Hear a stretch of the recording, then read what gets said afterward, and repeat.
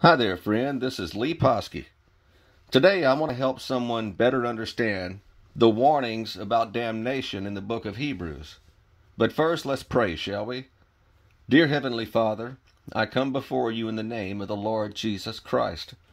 Dear Lord, please give us discernment regarding your word. Let the hearer understand with clarity what you have to say in your word. I pray this for your glory. In Jesus' name, amen. Now then, before we get to the warnings in the book of Hebrews, we must first understand Jesus' accomplishment in his substitutionary atonement. This is vital. The fact is, his sacrifice was accepted by the Father, as proven by his resurrection from death, which means that for everyone who trusts in the Son of God as Savior, no charge of sin can ever be laid to their account. Did you know that, that in all of Scripture, not even one time has a Christian ever lost their salvation? That's vital to understand.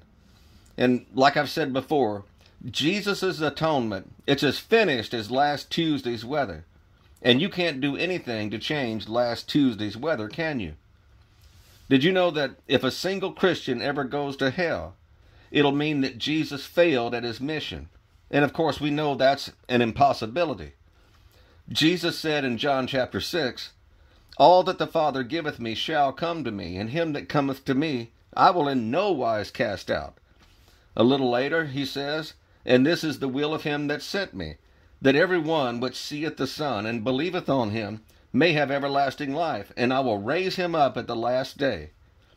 Similarly, in John chapter 5, Jesus said this Verily, verily, I say unto you, he that heareth my word and believeth on him that sent me hath everlasting life, and shall not come into condemnation, but is passed from death unto life. That's ironclad eternal security, friend. So understand this. When we see warnings of apostasy in Scripture, warnings of falling away, these are serious warnings. But they're warnings in regard to false Christians, or put another way, these are tests of false Christians who mingle among real Christians. The genuine Christian need never fear God's judgment and should have confidence in his or her salvation right now. Why? Because as he is, so are we in this world. He's made us his righteousness as a free gift, which is perfection in Christ. We rest in his finished work. So I would tell anyone who's considering this matter examine what you're trusting in. Are you resting in the finished work of Christ? Or are you trusting in your morality? Now then, in regard to the book of Hebrews, like any section of Scripture, we must understand context. Context is everything.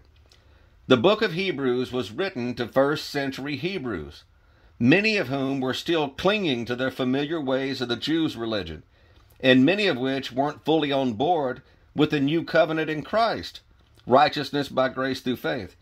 And this particular letter is telling them that their old way of doing religion is now obsolete, and they'd better get on board with the new, because there is no other way to God. Believe on the Lord in earnest, or perish like their forefathers did before them, for they're not believing God.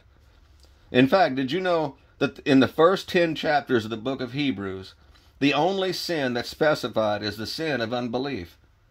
These warnings are about Christ's rejection in light of the revelation of Christ, which of course applies to anyone of any generation. And just like the first century Hebrews, the warning is to not harden your heart to the gospel of Christ. Believe on the Son of God while you still have the light to believe.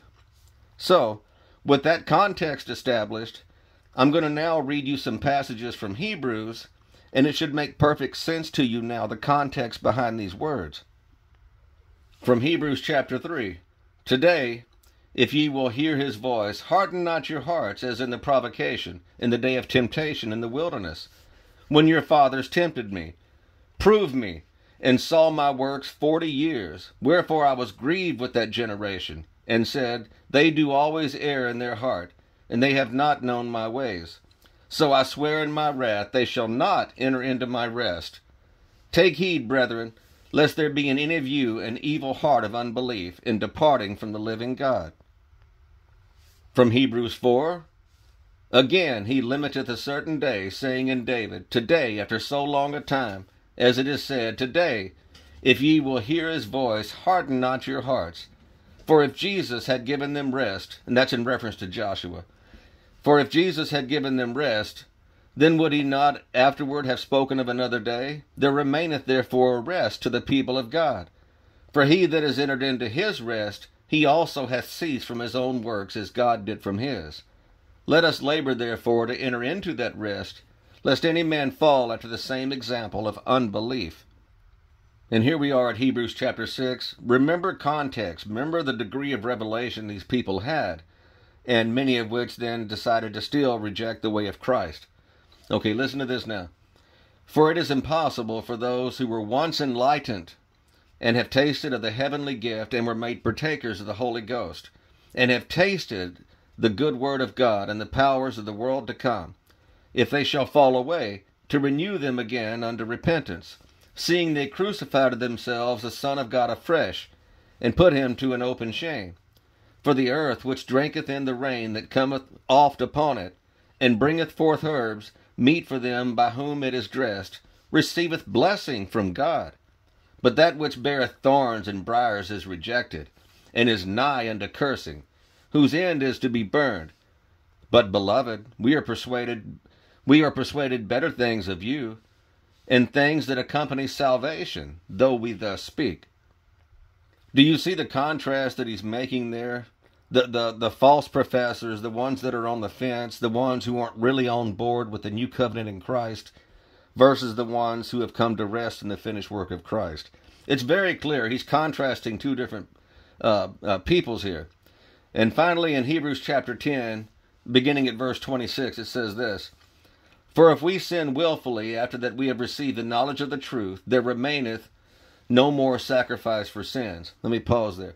What he's talking about is um, that if you reject this way of Christ, there is no more sacrifice for sins. There is no more way to, way to God.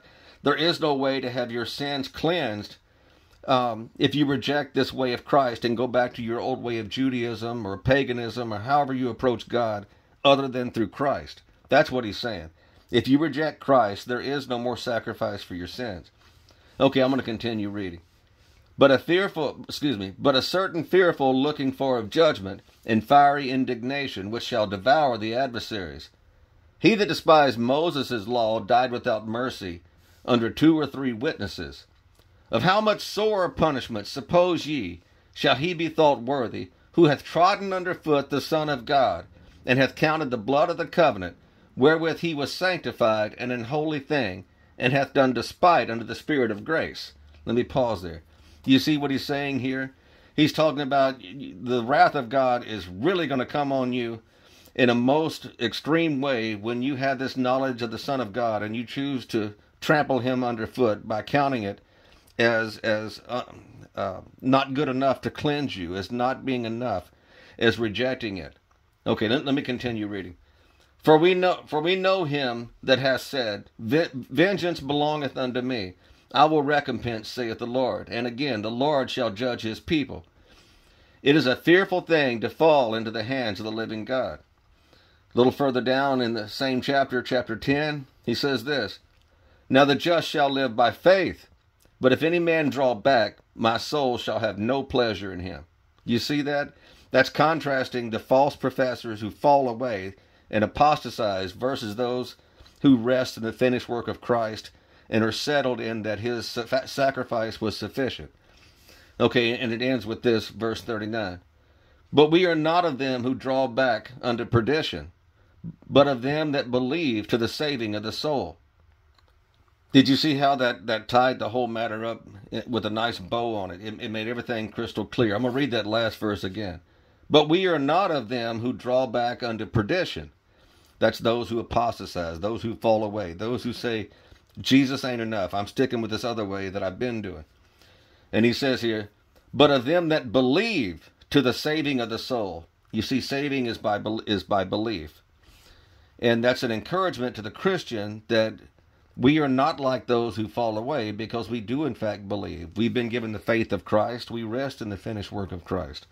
So, hopefully now you can see, friend, that these warnings are serious. They should be there, and they they should be taken gravely serious by anybody who questions Christ. It, it is a fearful thing to fall into the hands of the living God. And anybody who rejects Christ and says that it ain't enough, or they add their works to his finished work for their justification, you know that they have trampled underfoot the Son of God. And that's the greatest degree you can insult God to say that Jesus, what he did, is not enough. Okay? So I, I hope that this has ministered help to somebody who needs to understand these uh, these scriptures and those who need not be afraid can now walk in the light of Christ in the knowledge of, of righteousness by grace through faith. And uh, I guess I'll end it here. Thank you for listening to me, and all glory to the risen Lord Jesus Christ, and no glory to us whatsoever. Bye bye.